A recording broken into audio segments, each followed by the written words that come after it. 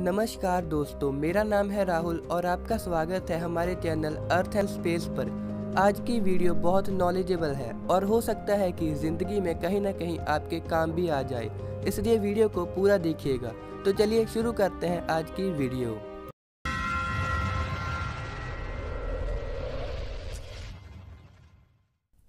दोस्तों, दिमाग में आने वाले विचार दो तरह के होते हैं, एक पॉजिटिव और एक नेगेटिव पॉजिटिव विचार आपको खुशी और ऊर्जा से भर देते हैं और नेगेटिव विचार आपको निराशा और तनाव के समुंदर में डुबो देते हैं।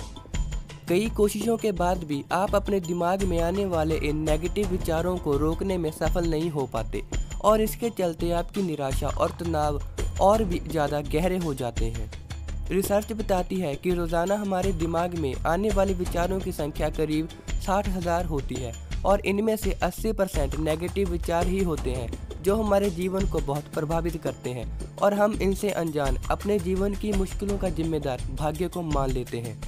जबकि इसके लिए ज़िम्मेदारी तो हमारे दिमाग की है और अपने दिमाग के विचारों को कंट्रोल करना हमारे अपने हाथ में है। ऐसे में ये जानना पहली ज़रूरत है कि आखिर दिमाग में नेगेटिव विचार आते ही क्यों हैं और इतनी कोशिशों के बाद भी इनका आना थमता क्यों नहीं? इसका एक मेन रीज़न बीते कल का अफसोस करना है। बीते समय में कई बार जाने अनजाने में कुछ ऐसी गलतियाँ हो जाती हैं, जिन पर आपको आज भी अफसोस है। ऐसे में जब भी उन बुरे अनुभवों जैसी स्थिति आपको वर्तमान में दिखाई देती है तो आप भूल जाते हैं कि वो समय बीत चुका है और उससे जुड़ा पछतावा आपको निराश और बेचैन बना देता है। इसलिए उसे एक ख्याल से जुड़े, ढेरों नेगेटिव विचार आपके दिमाग पर हमला कर देते हैं।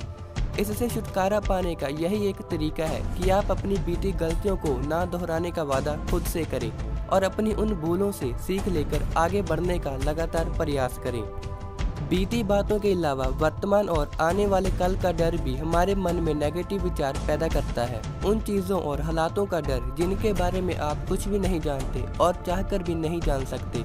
आने वाले कल के लिए थोड़ा विचार करना ठीक है। लेकिन उसके बारे में सोच सोच कर डरना नेगेटिव विचारों को खुला आमंत्रण देने जैसा है। दोस्तों, निराशावादी माहौल में रहना भी नेगेटिव विचारों का एक मेन रीज़न है। जैसा माहौल आप खुद को देंगे, वैसे ही विचार आपके दिमाग में चलते रहेंगे। जब आपके आसपास ऐसे लोग होते हैं, जो सिर्फ़ कमियाँ निकालना जानते हैं, हर बात के नेगेटिव साइड पर ही ज़ोर देते हैं। आपको प्रेरित करने की बजाय आपका मनोबल कमज़ोर बनाते हैं। तो ऐसे लोगों और ऐसे माहौल के बीच रहकर पॉजिटिव विचारों की कल्पना कैसे की जा सकती है? इसलिए अपने दिमाग में आने वाले अनगिनत नेगेटिव विचारों के लिए अपने दिमाग को कोसने की बजाय अपना माहौल बदलिए और ऐसी संगत चुनिए जो हर स्थिति में आपको पॉजिटिव रास्ता दिखाए और आगे बढ़ते जाने की प्रेरणा से भर दे। असफलता से बार बार सामना होना। आप भले ही अपनी तरफ़ से पूरा प्रयास करते हो, लेकिन फिर भी आपको असफलता का ही सामना करना पड़ा है। वो भी कई बार। ऐसे में थक कर निराश हो जाना स्वाभाविक है और निराशा की इस स्थिति में नेगेटिव विचारों का आपके दिमाग में दौड़ना भी एकदम सामान्य ही है।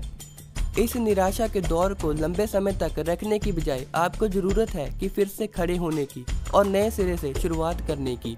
इस बार अपनी कमियों को सुधार कर फिर से जुट जाने की। क्योंकि आप जानते हैं कि प्रयास ही सफल होते हैं। शुरुआत में पॉजिटिव बने रहने में आपको थोड़ी मुश्किल ज़रूर होगी। जिसे आसान करने के लिए आप कुछ ऐसे बाहरी साधन अपने पास रखिए जो आपको पॉजिटिविटी से भर सकें। चाहे वो आपके ऐसे दोस्त हों जो आपकी काबिलियत पर यकीन रखते हों या फिर प्रेरणा से भरे ऐसे और वीडियोस दोस्तों, उम्मीद है ये वीडियो आपके किसी काम आई होगी। ऐसे ही और वीडियोस के लिए चैनल को सब्सक्राइब ज़रूर करें और वीडियो को शेयर ज़रूर करें ताकि किसी और के भी काम आ सके। मैं मिलूँगा ऐसे ही किसी और इंटरेस्टिंग वीडियो में। तब तक के लिए जय हिंद, वंदे मातरम।